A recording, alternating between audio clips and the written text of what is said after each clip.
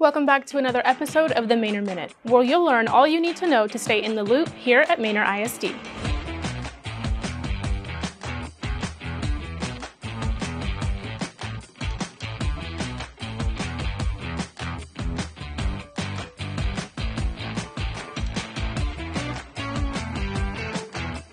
We want to hear from you about how we can make Manor Middle School the best possible learning environment for our scholars.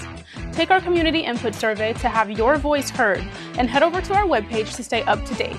Together, let's ignite Pony Pride. On Wednesday, volunteers passed out free bags of fruits and vegetables to families thanks to Brighter Bites. Brighter Bites provides fruits and veggies to the community along with nutrition education and resources for parents to take home with them.